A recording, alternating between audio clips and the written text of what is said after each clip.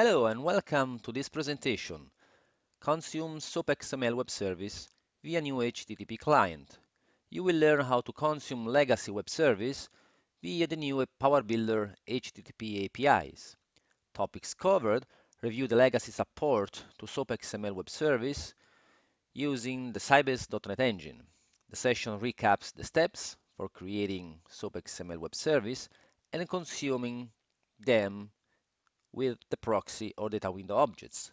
It highlights the limitation of this implementation and describes how to overcome the known shortcomings by leveraging the new PowerBuilder HTTP client objects and with a lot of examples that will be discussed.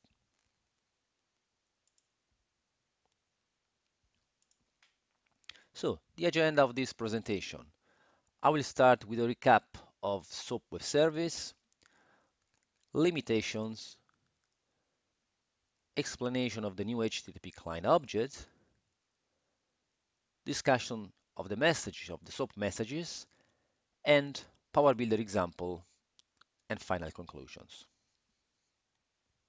About myself, I'm a Power Server enthusiast, Power Builder developers for over 20 years, Appeon MVP, presented many times at Power Builder user groups and Elevate conference, main recent activities, a large number of migration projects from Power Builder and Power Server Web and Mobile, and also PhD studies in machine learning and big data analytics.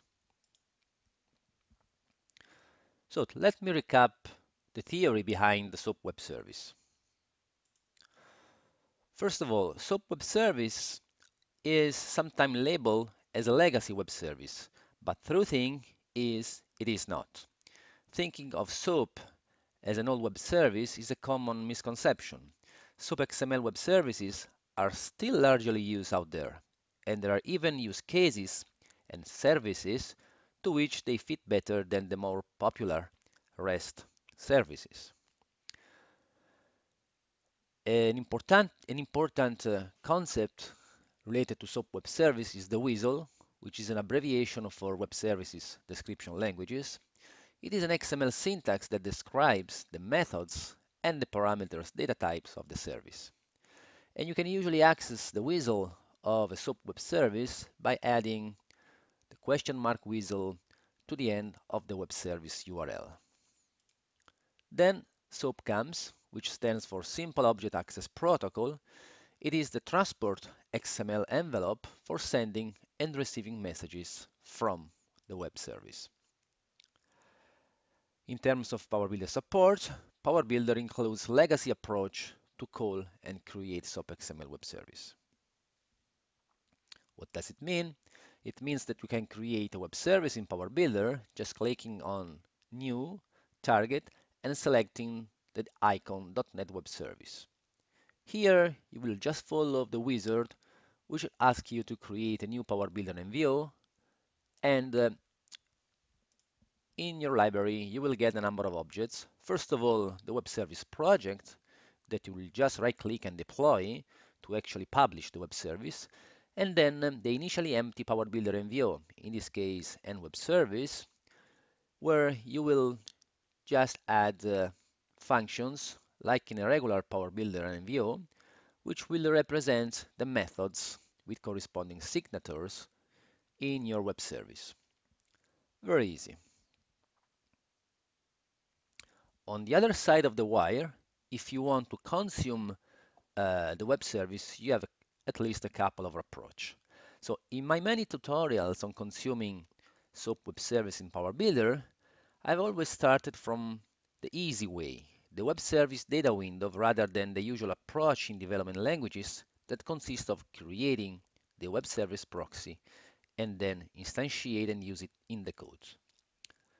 But, you know, the data window object has been always the plus of Power Builder over any other development language, and it can also be used to solve the problem of consuming SOAP web service. Just need to specify some additional properties. So, if the web service operation that you want to call has input parameters, you just specify them as data window retrieval arguments. If, data, if the web service returns a result or has arguments by reference, you can select them to be displayed in the data window itself. So it is a quick and very powerful approach with just uh, with this very simple code uh, that you see here, you can retrieve data from a web service data source. You want to display the web service output, just call data window.retrieve. For example, here the list of some employees. You want to change the information of the employees in the data window and then send the changes back to the web service, which will be then in charge of committing the update to the, to the database, you just call data window.update. In fact, you can use data window update and insert row and delete row functions to perform uh, CRUD operations via the web service instead of direct SQL. And how you build a web service data window in Power Builder? Maybe someone never pay attention to. Among the possible data window data sources, you can see also an icon which tells you web service instead of, for example, table or SQL. And if you go to the data window designer, rows, and uh, the sub item here, you find a special panel for selecting for setting the update condition, this web service update. Basically, in here, you bind the data window methods to the web service operation. And the web service data window, by the way, also works out of the box in Appeon Power Server when you migrate your application to web and mobile architecture. The second way in Power Builder to consume SOAP Web Service is the Web Service proxy object. You create a proxy from the Web Service WSDL. So you just create new, click, select new project Web Service proxy wizard. You follow these panels which ask you first of all for the WSDL file name. You input the WSDL, Power Builder will recognize the methods and uh, provided by the web service and will, it will create the proxy itself and the related structures belonging to the web service. This is what you get in your PBL, the proxy project, uh, the proxy itself, uh, this green icon. In this case also a structure for this sample web service, which retrieves information about the employees in the Power Builder demo database. And then also, don't forget, you need to include the Power Builder extensions for SOAP Web Service Client. And uh, that makes SOAP connection objects to show up in your uh, PBL. SOAP connection, SOAP exception, and SOAP PB cookie. And now you have all ready to call the web service methods from your code. So proxy project, proxy objects, and, if any, web service structure. These are the three NVO that you get by selecting the Power Builder extension PB Web Service Client, uh, PBX. Here you see an example of Power Builder code using the SOAPConnection object to instantiate the proxy and connect the remote web service endpoint, and then the web service operation OFSUM in this case, which is called and it returns the value that is saved into a variable.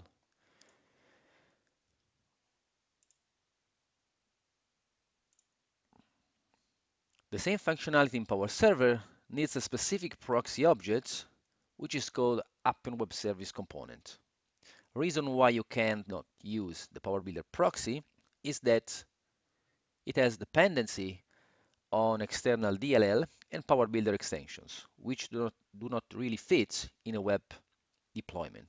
However, limitation exists, and this is why today you are here to learn how to overcome this limitation using instead the new Power Builder built-in HTTP client object that was introduced in version 2017.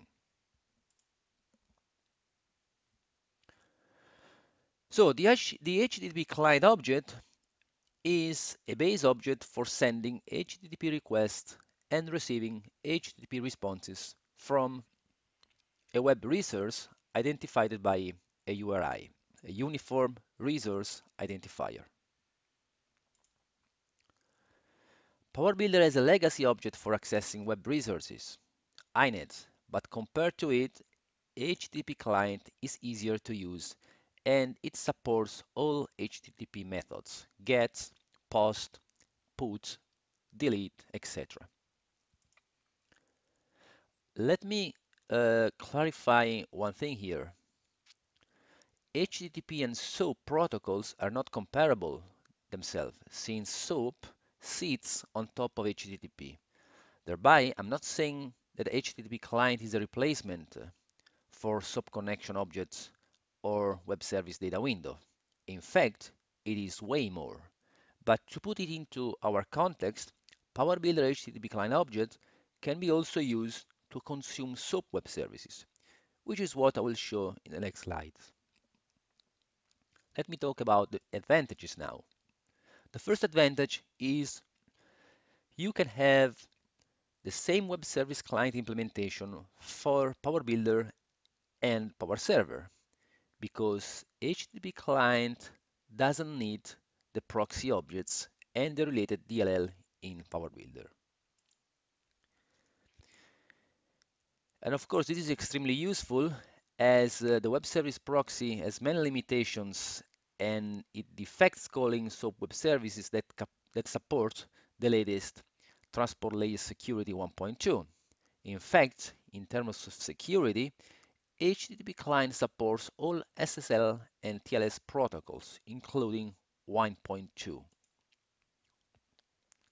There is no data type limitations for parameters and for return values. For example, complex nested objects or binary data.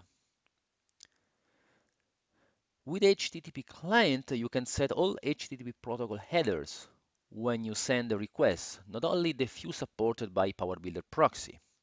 And uh, at the same way, you can access all HTTP response headers. HTTP client allows to access SOAP extensions like uh, Web Service Security, Web Service Trust, uh, and so on and so forth. It does not provide direct handling or content manipulation, but since you can prepare and we'll see how the SOAP envelope of your choice, you can incorporate security features in the header of the SOAP message. And in combination with the new PowerBuilder encoding, hashing, encrypting, and compression objects, you can easily apply these algorithms in the web service request.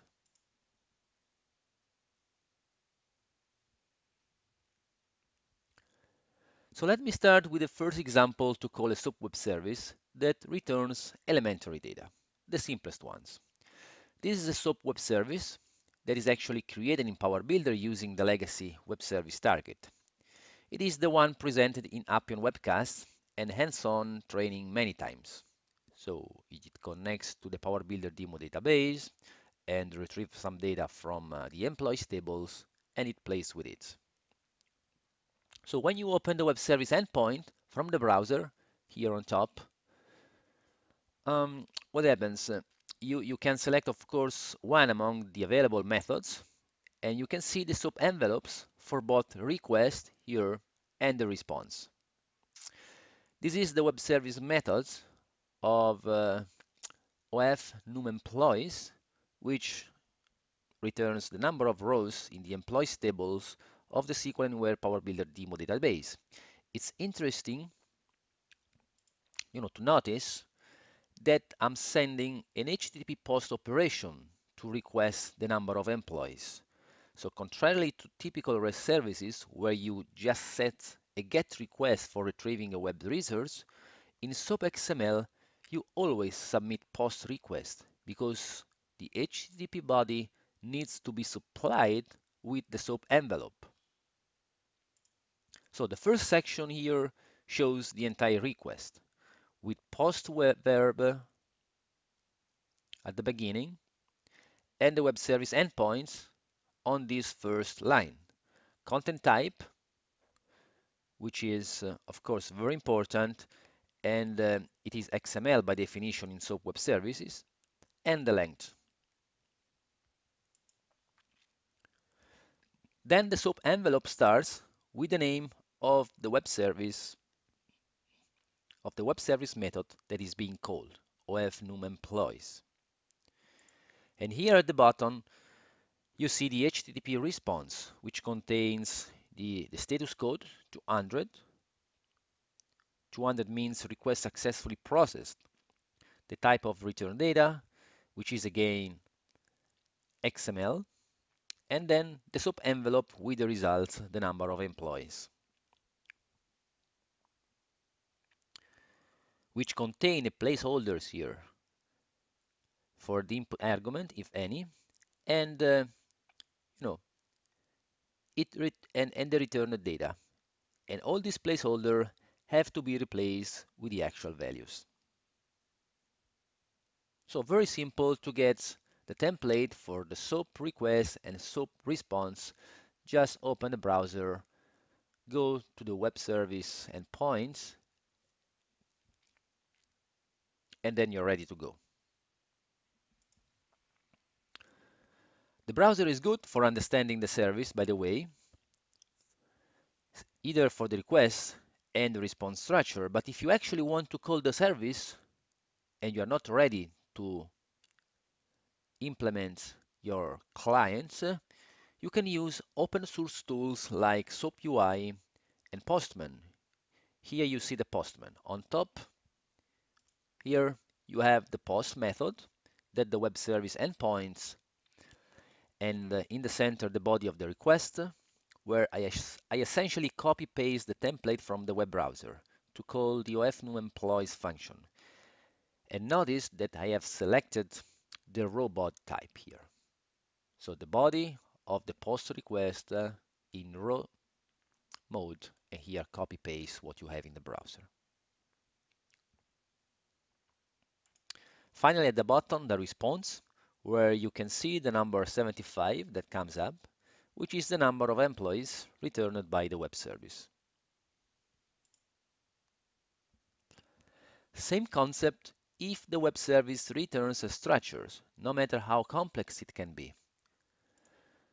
So for example, here you see the function of getEmployee, which is meant to return all employees by means of a collection of columns ID, family name, last name, uh, department ID, and salary. The SOAP request includes an XML tag, emp, and employees, that is the name of the structure array. And on the right here, sorry, you, you, you see the SOAP response, which will return the actual list of employees.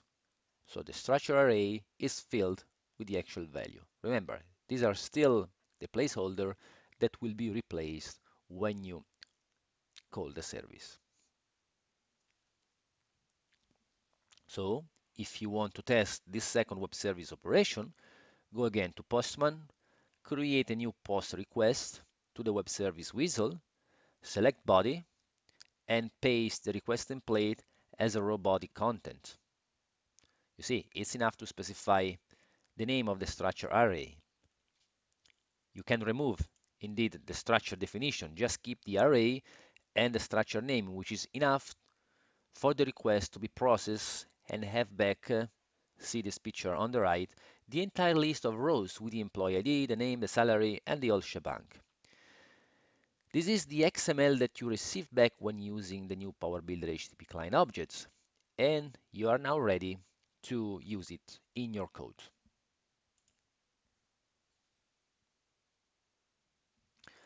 Last example here that I want to discuss is when you actually send data to the SOAP web service. For example, this is the OF type method, OF update method, where you must pass the employee ID and uh, the last name and family name. You can see the SOAP request with the three fields in the body and the response below with just the return value maybe one if the, the update succeeds or minus 1 if it fails. Let's now discuss how to use HTTP client and submit the web service request and handle the response. So first of all, set the web service endpoints in a string variable and store the entire SOAP envelope in the second string variable, which is what you have in Postman in the raw body of the HTTP request. Then, very important, use the setRequest header method to specify the content type. So we want to inform the web server that we are sending a request and the body is in XML format. Next, send request, which delivers the request to the server.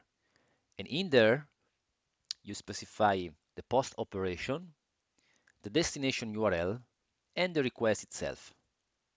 Next line, always good practice to verify with get response status code if the HTTP status code is 200, which means okay, it is a success status response code that indicates that the request has succeeded.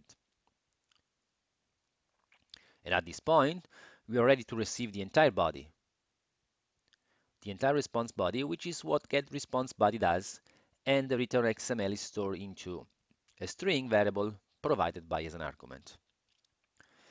Send request is very intuitive and simple, but keep in mind that Appeon does not recommend to use it to, to submit large data. And to give you an idea what large data is, Appeon indicates whatever data transfer is bigger than 20 megabytes or several thousands of data rows. To overcome this limitation, instead of large data transfer, you can use post data instead.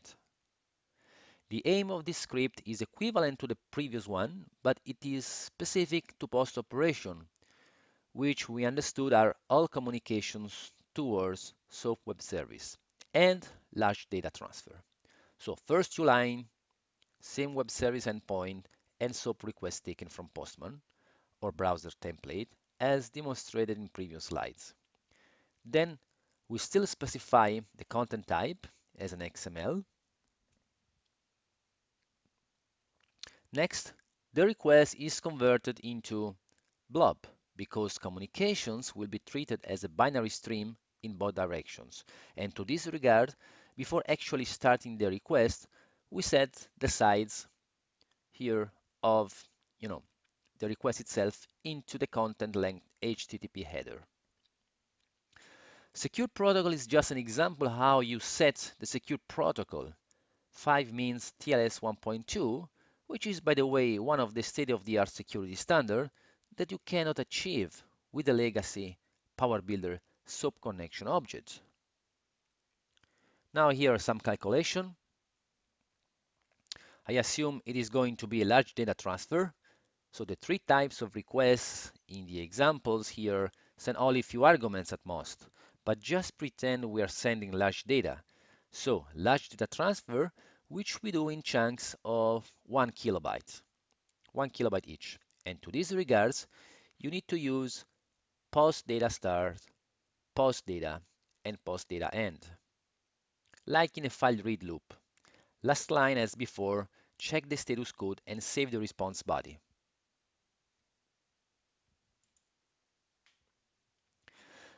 When everything is completed, we import the XML data into a data window which is designed to display exactly the five columns returned by the web service.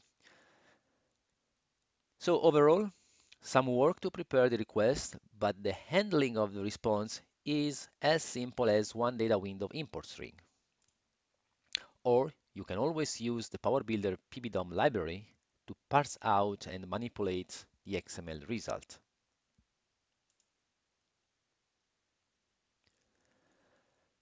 So let's recap.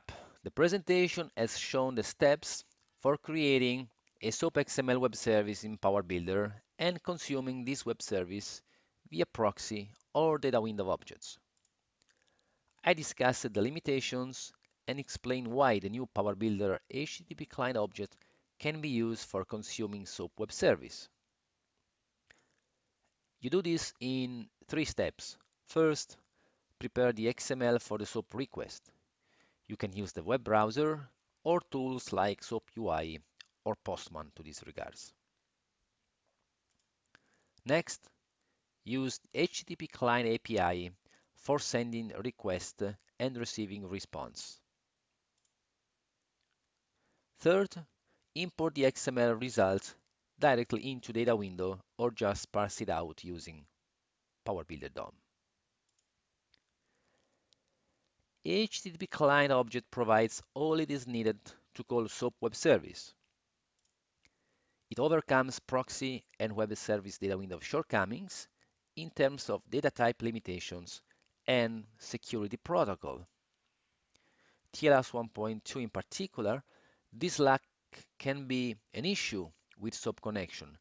I see that a number of SOAP server providers are switching off 1.0, forcing consumers to implement 1.2, 1.2 request. So you need to use HTTP client in Power Builder.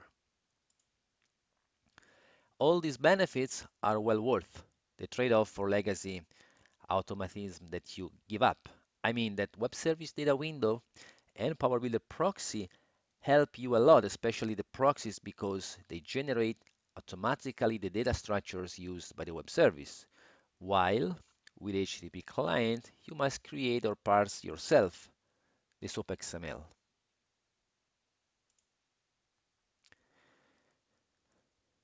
Very good. Thanks for uh, listening and uh, stay connected with the Appeon uh, community. And uh, you will see there are a lot of discussions, technical articles and videos, and also free online training and more. Of course, Appeon also, you can also follow Appeons on uh, social networks and uh, also on YouTube, where you have a lot of videos and you don't need their account registration. Thank you.